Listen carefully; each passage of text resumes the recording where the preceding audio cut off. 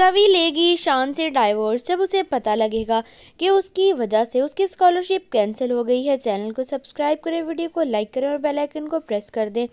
तो अब सभी शान पर काफ़ी ज़्यादा गुस्सा करती हुई दिखाई देने वाली है, क्योंकि अब यहाँ पर सब लोग यही कह रहे हैं कि जब सभी की शादी हो चुकी है तो उसको स्कॉलरशिप का कोई हक नहीं है।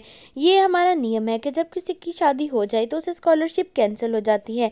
तो सभी अब यहाँ पर अपनी स्कॉलरशिप के पीछे अब इतना ज़्यादा बड़ा कदम उठाएगी वो ईशान को बोलेगी कि मैं आपसे रिश्ता ख़त्म करने के लिए तैयार हूँ, लेकिन मैं अपनी मेहनत की स्कॉलरशिप को ज़ाया होने नहीं दे सकती।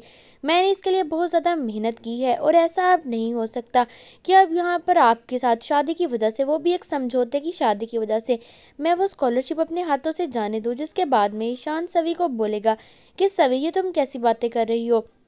तुम ऐसा नहीं कह सकती। तुम्हें पता है ना कि मुझे तुमसे प्यार हो गया है, जिसके बाद में सभी बोलेगी कि ईशान सर, आप क्या बकवास कर रही हैं?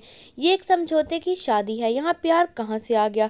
जिसके बाद में अब यहाँ पर ईशान का दिल टूट जाएगा और वो रोने लग जाएगा। तो सभी ईशान को समझाती हुई नज़र आने वाली है। तो क्या समझ पाएगा ईशान आपको क्या लगता है? कमेंट करके जो बताएँ। चैनल को सब्सक्राइब करें, वीडियो को लाइक करें। बाय।